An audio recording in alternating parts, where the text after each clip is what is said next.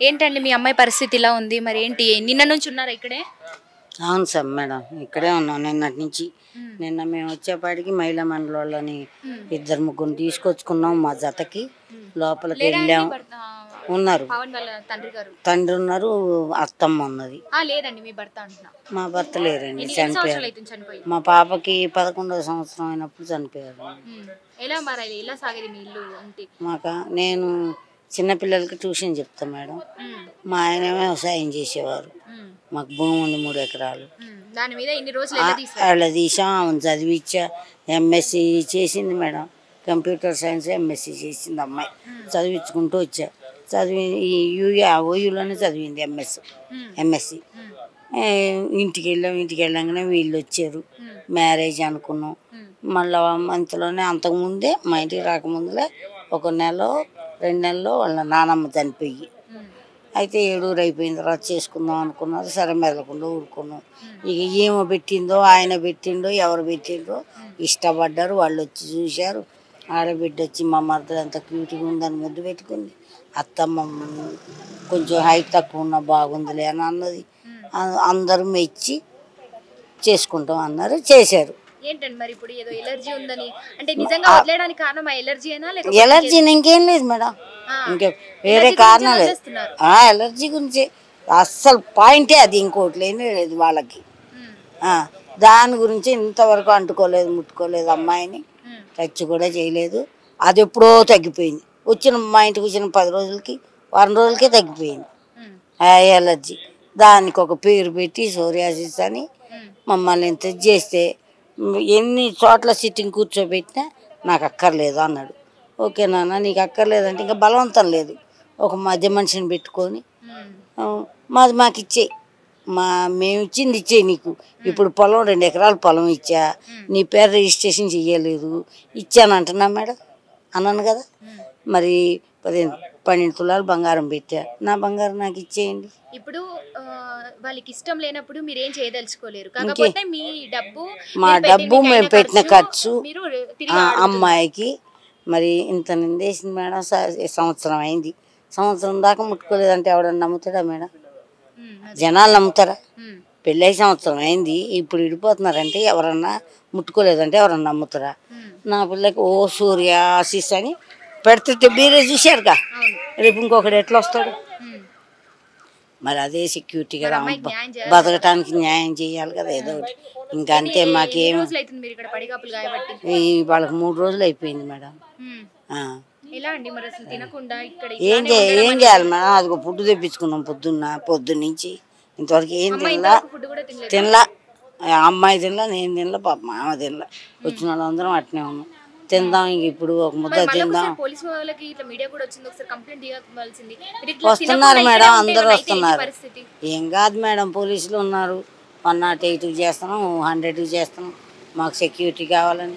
ఏం కాదమ్మా మీకు చెప్తున్నా మేడం. దాదాపు తినకుండా ఇలా ఉంటే ఏమైనా అయితే పరిస్థితి కష్టం కదా? అవును మేడం అందుకని తింటాం కానీ మా బాధ మాకు ఉందిగా మేడం మీ డబ్బు రావాలి మీ బంగారం మీకు రావాలి. అదే మీకు కావాల్సినటువంటి న్యాయం అంటారు. అంతే మేడం. ఆ డబ్బు కూడా మేడం మా అమ్మాయికి ఎంత ఖర్చు పెట్టినాము?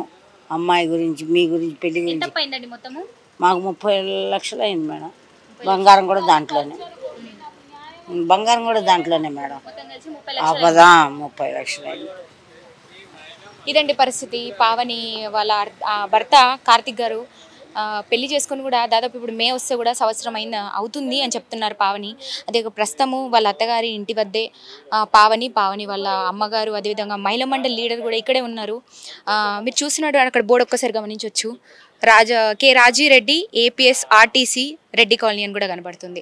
ఏపీఎస్ ఆర్టీసీ అంటే గ్రూప్ మెంబర్స్ అందరికీ కూడా లీడర్ అంట వాళ్ళ మామయ్య. సో లీడర్షిప్ ఇంత ఉండి ఇంత వాళ్ళకు కూడా అంటే బతకడానికి ఇల్లు అన్నీ కూడా బాగానే ఉన్నాయి ఒక గవర్నమెంట్ జాబ్ పరంగా కూడా.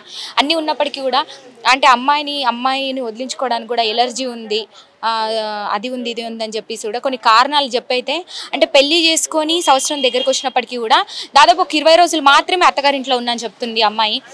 మొత్తం అంతా కూడా వాళ్ళ అమ్మగారింట్లోనే వదిలేసి వచ్చా వదిలేసి వచ్చారంట. అంటే వదిలించుకోవడానికి అయితే మొత్తంగా దాదాపు సంవత్సరం నుండి ప్రయత్నిస్తున్నటువంటి పరిస్థితి. ఇప్పుడు అమ్మాయి మీడియా ముందుకు వచ్చి అంటే పోలీస్ స్టేషన్కి వెళ్ళి అంతా కంప్లైంట్ ఇచ్చారు కౌన్సిలింగ్ అంతా కూడా కంప్లీట్ అయింది. అన్నీ అయినప్పటికీ కూడా పట్టించుకోనటువంటి పరిస్థితి ఏర్పడింది ఈరోజు సో తన భర్తకి కొంత ఇన్ఫ్లుయెన్స్ ఉందని ఎమ్మెల్యేలు పిల్లలు తెలుసని. ఆ డబ్బిచ్చి కూడా కొంత పోలీసులను కూడా మేనేజ్ చేస్తున్నారని కూడా అమ్మ ఈరోజు కన్నీళ్ళు పెట్టుకుంటున్నటువంటి పరిస్థితి ఏర్పడింది. సో అందువల్ల అందువలన మీడియాని ఆశ్రయించింది ఆ అమ్మాయి. సో మరి మీడియా ద్వారా అయినా న్యాయం జరుగుతుందంటూ కూడా ఆశిస్తుంది. అతను వాళ్ళ భర్త వద్దంటున్నారు కాబట్టి తనకు వద్దన్నప్పుడు నేను బలవంతంగా ఉండలేను. కాకపోతే నేను ఇచ్చినటువంటి మా డబ్బు కావచ్చు నాకైనటువంటి అప్పు కావచ్చు వాళ్ళ పెట్టినటువంటి బంగారం ఏదైతే ఉందో అది తిరిగి కావాలంటూ మాత్రమే ఈరోజు మీడియా ముందుకు వచ్చినటువంటి పరిస్థితి. మరి ఆ అమ్మాయికి న్యాయం జరగాలి చేయాలంటూ కూడా కొంత మ- మండలి లీడర్ కూడా సపోర్ట్గా ఉన్నారు.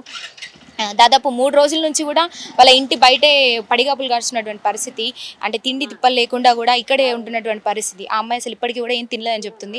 అయినా కూడా వాళ్ళు మొత్తానికి ఇంటికి తాళం వేసుకొని కూడా ఇక్కడికి పరారులో ఉన్నటువంటి పరిస్థితి ప్రస్తుతం. అంటే ఫోన్ కాల్ చేస్తుంటే కూడా అక్కడ పెళ్ళి ఉంది ఇక్కడ పెళ్ళి ఉంది అంటూ కూడా మొత్తానికి ఇంటికి లాక్ వేసుకొని బయటికి వెళ్ళిపోయారు.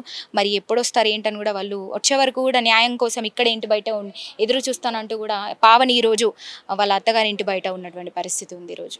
కూర్చొని కూర్చొని నా పరిస్థితి బాగోలేదు. ఇంకొకటి ఏంటంటే వీళ్ళ నోటికొచ్చిన మాటలు ఏం మాటలండి? ఎవరి కోసం నేను అబ్బాయిని ట్రాప్ చేసేదానిలాగా కనిపిస్తున్నానా? వాళ్ళు వాళ్ళకి కావాలని పెట్టించారు ఇప్పుడు ఈ కామెంట్స్ అవన్నీ కావాలని. నన్ను బ్యాడ్ చేయడానికే పెట్టిస్తున్నారు నేను చెప్తున్నా రేపు మాత్రం వీళ్ళు వచ్చి నాకు ఏందనేది నా న్యాయం నాకు చేయకపోతే నేను ఈ ఇంటి ముందే సూసైడ్ చేసుకొని చచ్చిపోతానండి. నాకు ఇంటికి పోయి అక్కడ బాకీలతో గొడవలు పడి వాళ్ళతో మాటలు అనిపించుకొని చచ్చే కన్నా ఇక్కడే చచ్చిపోతానండి ఈయన పెళ్ళంగానే ఈడే సస్తా. ఈయన ఈయన చుట్టాలు అందరు కలిసి ఇంకెంత ఇంకెన్ని మీడియా ముందుకు వచ్చారు కాబట్టి మీకు న్యాయం జరుగుతుంది? ఏం న్యాయం? మీడియా ముందుకు వస్తేనే న్యాయం జరుగుతుంది అని పొద్దున్న మా మీడియా వాళ్ళతో లైవ్ పెట్టించుకుంటే వాళ్ళు వాళ్ళతో మెసేజ్లు పెట్టించి నేను వాడికి ఒక ఆడపిల్ల గురించి మాట్లాడే మాటలా మొగ్గలు అబ్బాయిలను ట్రాప్ చేసి ఏమంటారు నా ఏం మాట అండి వాడు? వాడు చదువుకునే పిల్లోడా? లేకపోతే బజార్లో తిరిగేటోడా?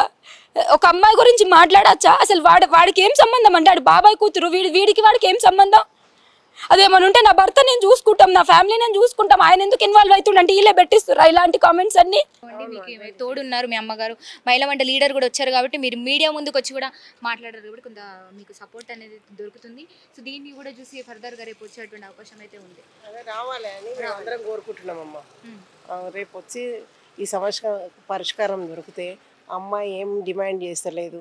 ఆ పదిహేను తులాల బంగారము ఆ ముప్పై లక్షల అప్పు కట్టేస్తే చాలు. అబ్బాయి వద్దు అంటుండు కనుక నేను మ్యూచువల్గా విడాకులు ఇస్తాను అంటుంది అంతే. ఇక రాజిరెడ్డి గారు మీరు ఎక్కడున్నా కార్తీక్ రెడ్డిని తీసుకొని వచ్చి మే అమ్మాయి లక్షలు కానీ కోట్లు కానీ డిమాండ్ చేస్తలేదు. పెళ్ళి కానీ చేసిన అప్పు తీర్పి ఆ అమ్మాయి గోల్డ్ అమ్మాయికి ఇచ్చేస్తే నేను మ్యూచువల్గా విడాకులు ఇస్తాను అంటుంది. మీరు వద్దు అంటున్నారు కనుక అమ్మాయితో మాట్లాడి "మ్, మేము మ్యూచువల్గా కూర్చునబెట్టి మ్యూచువల్గా విడాకులు ఇప్పించేస్తామండి ఎక్కడున్నా మీరు రావాలండి. అమ్మాయి వేరే అగాత్యం చేసుకుంటా అని చాలా రోధిస్తుంది. ఆ రోజున మనకు మంచిది కాదండి. ఎందుకంటే మనకు కూడా ఆడపిల్లలు ఉండరు. ఒక ఆడపిల్ల ఊసురు ఊకే పోదండి. ఆ అమ్మాయిది ఏందో ఆ అమ్మాయి నష్టపరిహారం కట్టించి మన మీ అబ్బాయికి ఆ అమ్మాయి నచ్చలేదు కనుక వద్దు అనుకుంటుండు కనుక మనం మ్యూచువల్గా పెద్ద మనుషులు ఇద్దరు అటుపక్క ఇద్దరు పెద్ద మనుషులు ఇటు నుండి ఇద్దరు పెద్ద మనుషులు కూర్చొని మాట్లాడుకొని మ్యూచువల్గా విడాకులు తీసేసుకోండి.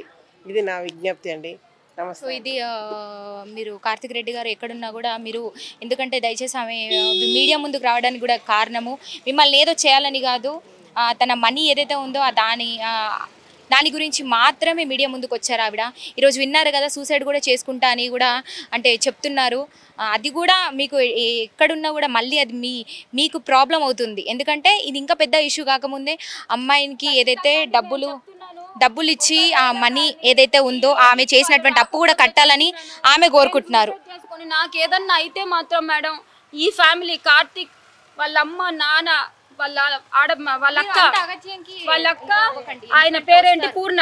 వీళ్ళు మాత్రమే బాధ్యులండి. నన్ను ఇంతలాగా రోడ్డుకి తెచ్చి రోజు నానా మాటలని ఆడపిల్లని రోడ్డు మీద పడేసి ఇంకా ఏం ఇజ్జత్ మిగిలిస్తున్నారు? ఆ ఏం మాటలండి? మాట్లాడే మాటలేని ఆడపిల్ల గురించి. ఇంకా నేను ఎందుకు బతకాలి?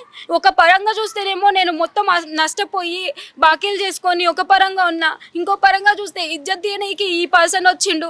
డివోర్స్ అంటే అంత చిన్న మాటలా అండి? ఒక ఇష్టపడ్డ మనిషిని మర్చిపోవడం అంటే అంత చిన్న మాటలా అండి? ఫ్యామిలీస్ రెండు ఫ్యామిలీస్ లైఫ్ లాంగ్ సఫర్ అవ్వాలండి డివోర్స్ అంటే. కామెంట్ పెట్టేట్టు ప్రతి ఒక్కడు వాడికి నచ్చిన కామెంట్ పెట్టుకొని పోతుంటాడు. అక్కడ మేము ఇంతవరకు అబ్బాయి నన్ను ముట్టుకోలేదంటే టచ్ చేయలేదంట టచ్ చేయలేదంట అని ఒకటి పెడతాడు. అరే మీకు ఎప్పుడు చూసినా ఒక ఆడపిల్ల మాట్లాడుతుంటే దాంట్లో ఒక సెక్చువల్ కంటెంట్ తప్పించి మీకు ఇంకేం దొరకదా? ఆడపిల్ల అంటే మీకు అక్కడ ఆడపిల్లకి అన్యాయం జరుగుతుంది. మీకు వీలైతే దాని గురించి స్పందించండి. అక్కడ అమ్మాయి టచ్ చేయలేదు అంటే దాని అర్థం పెళ్ళి చేసుకున్నా కూడా భర్త అమ్మాయిని ఎలాంటి సంతోషం లేకుండా ఏది లేకుండా అసలు అమ్మాయిని దూరం పెట్టుకుంటూ ఉన్నాడని పిల్ల బాధపడుతూ తన బాధను చెప్పుకుంటూ ఉంటే మీరు అక్కడ ఏంటి కామెడీ తీస్తున్నారా? లేకపోతే సెక్షువల్ కంటెంట్ తీస్తున్నారా? భర్త భర్తతో మాత్రమే అలాంటి కోరుకుంటుందండి. ఆడపిల్ల అయినా మీకు నోటికొచ్చి మాట్లాడే అర్హతలు మీకు ఎవరికీ లేవు ఇక్కడ. ఇష్టం వచ్చిన కమెంట్లు పెట్టుకోవడం కాదు. పెట్టేటప్పుడు వన్ మినిట్ ఆలోచించాలి. పాల్పడొద్దండి. ఎందుకంటే మీరు మీడియా ముందుకు వచ్చారు ఇంత కష్టపడి ఇంత ముందుకు వచ్చి కూడా మీరు రేపు ఏమైనా చేశారంటే అది అసలు మీకంటూ ఒక అమ్మ ఉంది. అమ్మ తప్ప ఎవరు లేరన్నారు. మీ అమ్మ మొహం చూసైనా మీరు ధైర్యంగా ఉండాలి. మీరు న్యాయం కోసం పోరాడుతున్నారు కాబట్టి న్యాయం జరుగుతుంది. ఏ న్యాయం మేడం? ధైర్యంగా ఉండి పోరాడాలి. న్యాయం చేస్తా ఏ మేడం? ఏం న్యాయం జరుగుతుంది నాకు? వన్ ఇయర్ నుంచి ఫైట్ చేస్తున్నా. తెలియనోడు ఏమంటున్నాడు? నీకు న్యాయం జరగాలంటే కూర్చోబెట్టుకొని మాట్లాడుకోమ్మా అంటున్నారు. వన్ ఇయర్గా ఇలాంటివన్నీ అయిపోయినాయి. ఫైట్ చేసి చేసి ఇక్కడ కూడా కూర్చోడానికి year నుంచి ఉన్నానని చెప్తున్నారు కదా ఇంకొంత పేషెన్స్గా ఉండి మీరు ఇంకా పోరాడితే మీ మీ ఏమేమి కావాలనుకుంటున్నారో అవి వచ్చేస్తుంది. మీరైతే ధైర్యంగా ఉండండి. అంతకుమించి. సో ఇది ప్రస్తుతం ఆ, కొంచెం కన్నీళ్ళకు గురవుతుంది. ఆమె చా ఆమె బాధ అసలు తట్టుకోలేని పరిస్థితి. దాదాపు మూడు రోజుల నుంచి ఇక్కడే ఉంటున్నా కూడా వాళ్ళు పట్టించుకోకుండా ఇంటికి తాళాలు వేసుకొని ఎక్కడికో వెళ్ళిపోయారు. ఆవిడకేమో బంగారం నా అంటే నా చేసిన అప్పు నేను కట్టుకోవడానికి నా డబ్బులు నాకు ఇవ్వు నా బంగారం నాకు ఇవ్వమని మాత్రమే కోరుకుంటున్నారు. అంతకుమించి ఆవిడ ఎటువంటి రిస్ట్రిక్షన్స్ కూడా పెట్టడం లేదు. వాళ్ళ- వాళ్ళకి వద్దగా వద్దనుకుంటే ఓకే వదిలేసేయండి. కాకపోతే నన్ను రోడ్డు పాలు చేయకుండా నేను చేసుకున్నటువంటి అప్పు కట్టుకునే విధంగా నా పై డబ్బులు నాకు ఇప్పించి